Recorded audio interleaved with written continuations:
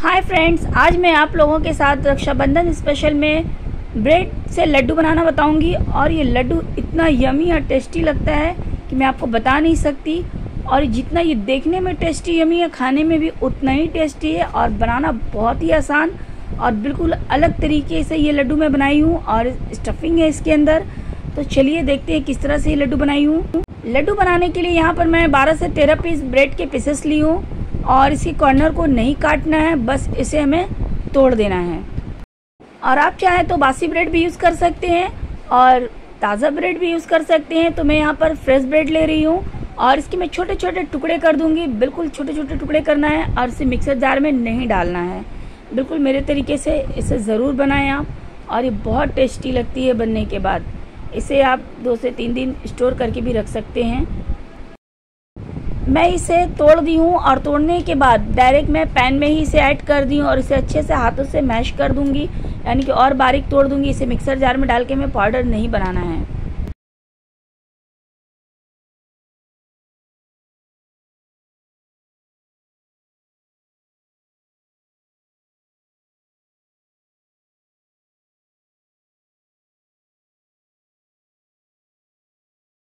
Bread को काफ़ी अच्छे से मैं मैश कर दी हूँ। और इसके अंदर तीन से चार बड़ी चम्मच मैं घी ऐड करूँगी। आप बटर भी ऐड कर सकते हैं।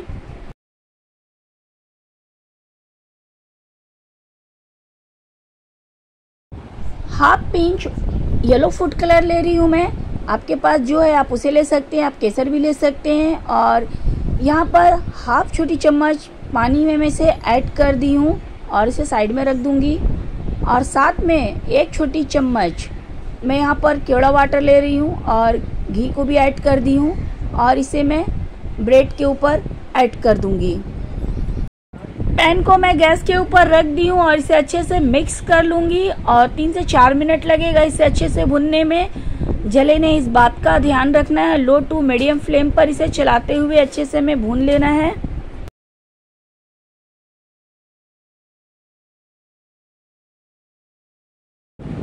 मिनट हो गया ऐसे लो टू मीडियम फ्लेम पर अच्छे से भूनते हुए आप देख सकते हैं, कहीं से ये जला नहीं है तो इसी तरह से मैं चलाते हुए इसे भून लूँगी।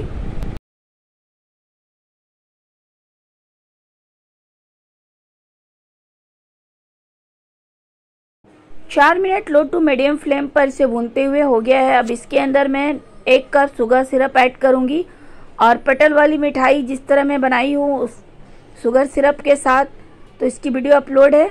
आप देख सकते हैं शुगर सिरप मैंने कैसे तैयार किया है, उसका लिंक मैं शेयर कर दूँगी और इसके अंदर मैं ऐड कर दूँगी।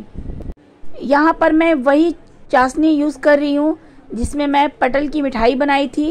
तो आप उसे बहुत सारे डिशेस बना सकते हैं। तो इसमें मैं ऐड कर दी हूँ। और ज़्यादा नहीं ऐड करना है, नहीं तो लड्डू नहीं बनेगी। और ये काफ़ी गीला हो जाएगा तो इसके अंदर मैं और हाफ़ कप ऐड करूँगी और इसे अच्छे से मिक्स कर दूँगी। तो आप शुगर सिरप किस तरह बना सकते हैं? इसकी वीडियो अपलोड है। पटल वाली मिठाई मिठाई को आप देख सकते हैं। तो मैं इसे अच्छे से मिक्स कर लूँगी।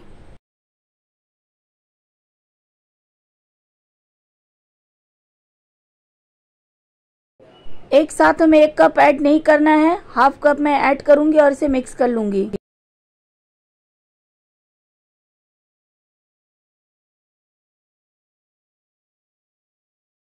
अच्छे से मिक्स हो गया है, इसे हाई फ्लेम पर मैं अच्छे से भून लूँगी।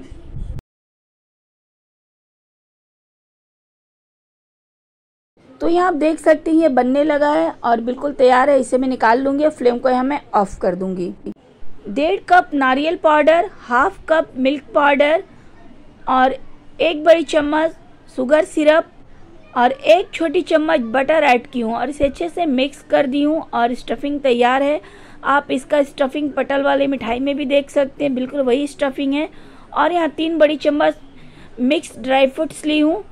आप कोई भी ड्राई फ्रूट्स अपने पसंद का ले सकते हैं और इसे मैं यहाँ पर बारीक काट दी हूँ और इसे अच्छे से मिक्स कर दूँगी। बहुत ईजी है इसके स्टफिंग को बनाना। तो आप इसे स्टोर करके भी रख सकते हैं। तो रक्षाबंधन पर मेरे तरीके से इस स्वीट्स को ज़रूर ट्राई करें।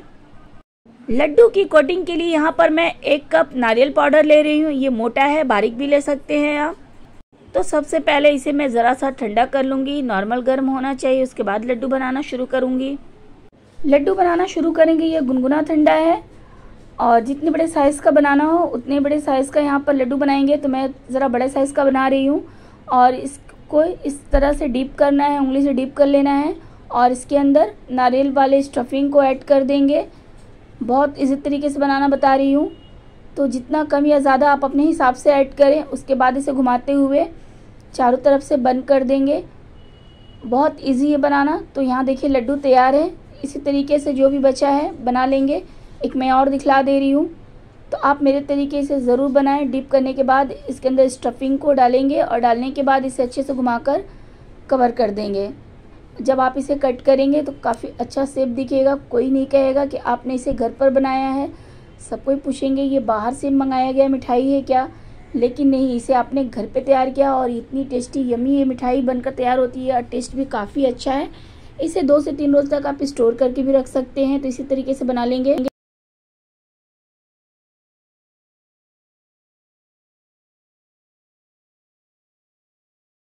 सारा लड्डू बनकर तैयार है। अब इसे हम नारियल पाउडर से कोट करेंगे। मैं यहाँ पर इलायची पाउडर नहीं ऐड की हूँ, क्योंकि मैं इसके अंदर केवड़ा वाटर ऐड की हूँ। आप इलायची पाउडर भी ऐड कर सकते हैं और केवड़ा वाटर को स्किप कर सकते हैं, लेकिन केवड़ा वाटर से काफ़ी अच्छा इसका फ्लेवर आता है। तो अब इसे नारियल पाउडर में डालकर अच्छे से कोट करेंगे दबा दबा कर कोट करेंगे।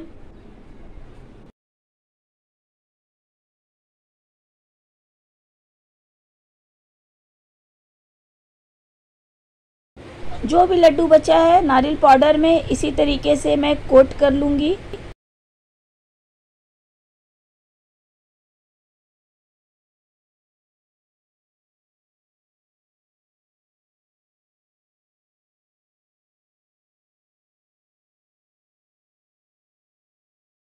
सारे लड्डुओं को मैं अच्छे से कोट कर दी हूँ। अब इसके ऊपर मैं चांदी के तब्बक को लगा दूँगी। काफ़ी अच्छा लुक आएगा इससे। और बहुत अच्छी लगती है इससे मिठाई। तो कोई नहीं कहेगा कि इसे आपने घर पर तैयार किया है। तो मेरे तरीके से ज़रूर ट्राई करें इस रक्षाबंधन पर या किसी भी मौके पर। तो तब्बक लगाने से पहले आप उसके छोटे छोटे टुकड़े कर लें। उसके बाद इसे लड्डू पर ऐड करें। बहुत इजी तरीके से आप इसके ऊपर लगा सकते हैं। तो जो भी बचा है उसे मैं लगा लूँगी। तो फाइनली यहाँ स्टफिंग वाला ब्रेड लड्डू बनकर तैयार है। इसके अच्छे लुक के लिए यहाँ पर मैं ऑरेंज फ़ूड कलर इसके ऊपर ऐड कर दूँगी। और जब आप इसे काटे तो, तो ज़रा सा उसके ऊपर भी ऐड कर दे मैं आपको एक काट कर भी दिखलाऊँगी। कोई नहीं कहेगा कि इसे आपने घर पे तैयार किया है। तो इस तरीके से मैं इसके ऊपर ऐड कर दूँगी। किसी भी चीज़ से आप ऐड कर दें। बहुत इजी है इसे बनाना। आप देख सकते हैं कितना अच्छा ये दिख रहा है। खाने में भी उतना ही अच्छा और टेस्टी है। तो मैं यहाँ पर आपको एक काट कर भी दिखलाऊँगी। तो आप इसे ज़रूर ट्राई करें। जब आप इसे काटेंगे तो बहुत अच्छा सा इसका लुक दिखेगा। और जब आप इसे काट कर इसे सर्व करें तो इसके ऊपर ज़रूर येलो कलर या केसर ज़रूर ऐड करें। बहुत अच्छा लगता है। तो मेरे तरीके से आप इसे ज़रूर ट्राई करें। और ये बहुत सॉफ्ट भी है खाने में, बहुत टेस्टी भी है। तो अगर मेरी ये ब्रेड लड्डू की रेसिपी आपको अच्छी लगी तो प्लीज़ मेरे वीडियो को लाइक कीजिए शेयर कीजिए कमेंट्स बॉक्स में जाकर कमेंट कीजिए सब्सक्राइब करना। प्लीज़ मत भूलिएगा। Love Hafiz.